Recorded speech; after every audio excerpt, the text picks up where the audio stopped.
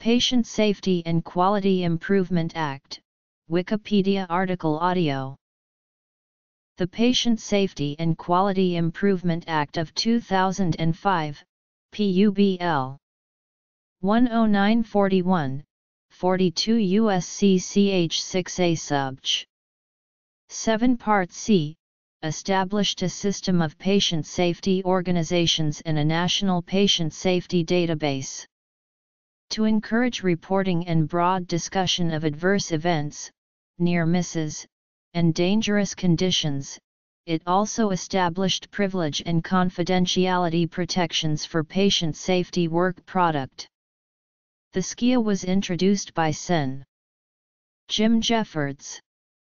It passed in the Senate July 21, 2005 by unanimous consent, and passed the House of Representatives on July 27, 2005 with 428 ayes, 3 nays, and 2 present slash not voting. Context for the passage of the Act. Summary of the Act's major sections. Definitions. Privilege and confidentiality protections. Network of patient safety databases Patient Safety Organization Certification and Listing Lexology, in cooperation with the Association of Corporate Counsel, predicts that this law will be one of the top 10 healthcare law issues in 2010. The notice of proposed rulemaking for this law describes the reason Congress passed it. Much of the impetus for this legislation can be traced to the publication of the landmark report, To Err is Human, by the Institute of Medicine in 1999. The report cited studies that found that at least 44,000 people and potentially as many as 98,000 people die in U.S. hospitals each year as a result of preventable medical errors.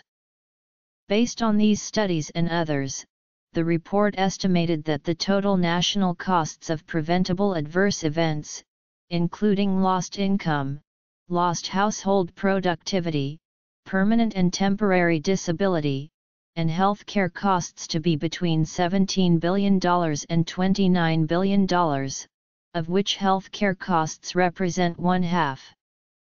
One of the main conclusions was that the majority of medical errors do not result from individual recklessness or the actions of a particular group, rather, most errors are caused by faulty systems, processes, and conditions that lead people to make mistakes or fail to prevent adverse events.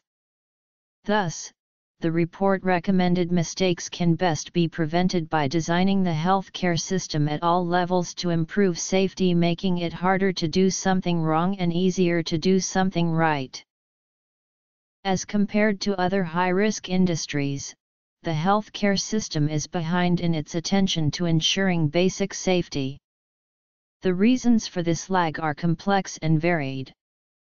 Providers are often reluctant to participate in quality review activities for fear of liability, professional sanctions, or injury to their reputations.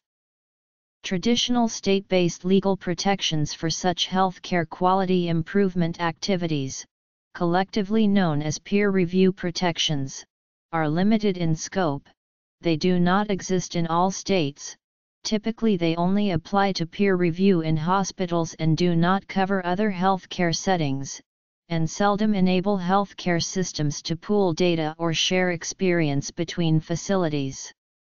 If peer review protected information is transmitted outside an individual hospital, the peer review privilege for that information is generally considered to be waived.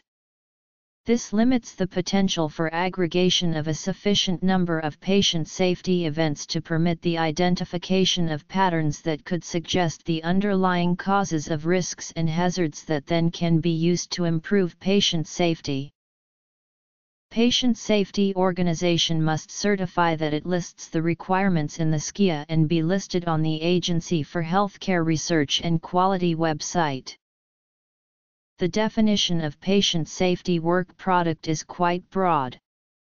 Patient safety work product includes any data, reports, records, memoranda, analyses, or written or oral statements, which could improve patient safety, healthcare quality, or healthcare outcomes, that are assembled or developed by a provider for reporting to a PSO and are reported to a PSO.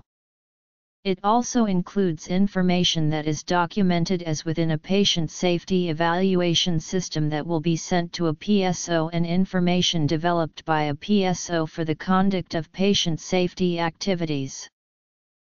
However, patient safety work product does not include a patient's medical record, billing, and discharge information, or any other original patient or provider information, nor does it include information that is collected, maintained, or developed separately, or exists separately, from a patient safety evaluation system.